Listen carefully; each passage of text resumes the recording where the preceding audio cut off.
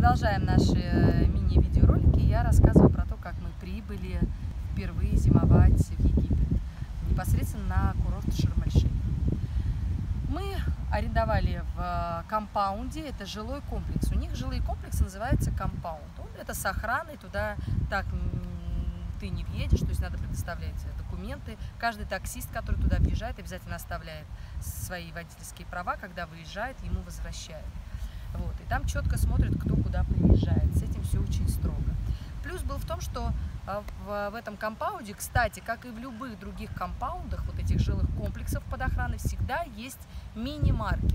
То есть, грубо говоря, даже если у вас там не развита инфраструктура, то в компаунде все равно у вас будет маленький магазинчик, где вы сможете купить э, продукты первой необходимости. Да? Там масло, яйца, какие-то овощи. Это очень удобно. Вот. Плюс э, был этого компаунда, что рядом находится небольшой, назовем так, центр, где был, проходил фитнес, там были занятия по йоге и там джим, ну, как бы такие вещи. Кстати, вот в этом рабе, почему я на него еще обратила внимание, когда бронировала, там был теннисный корт, что редкость. Вот, стоимость теннисного корта примерно 50 футов в час, умножаем на 5, 250 рублей. Это очень гуманные цены, и это было, получается, прям в нашем компаунде.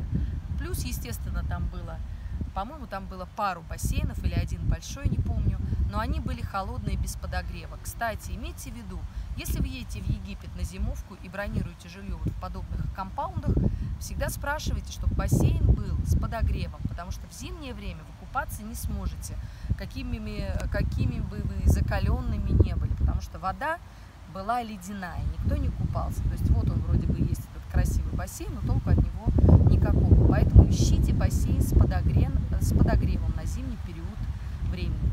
Также плюс этого компаунда, еще раз повторю, что там э, он находился, то есть около главной дороги, там можно было выйти и в любую сторону поймать э, такси да, на любой пляж. До, до пляжа ехать, к примеру, 5, 10, 15 минут, в зависимости на какой пляж вы поедете. Ну и, соответственно, и разная цена. Вот, то есть сам компаунд находится не на пляже, поэтому на море мы всегда как бы закладывали бюджет на такси. Об этом я в другом видео ролике обязательно расскажу более подробно о пляжах и э, о стоимости туда добираться. Вот, поэтому мы благополучно прожили два месяца, но стали искать замену. И нам порекомендовали называется Дельта. Дельта это тоже своего рода, можно сказать, компаунд, то есть большая территория, там, по-моему, 8 бассейнов, но это состоит из отелей и из жилья от собственников, то есть, грубо говоря, половина жилья от хозяев сдается, половина это отель. 8 бассейнов и один из бассейнов был с подогревом. Так что в следующем ролике я расскажу поподробнее об этом месте.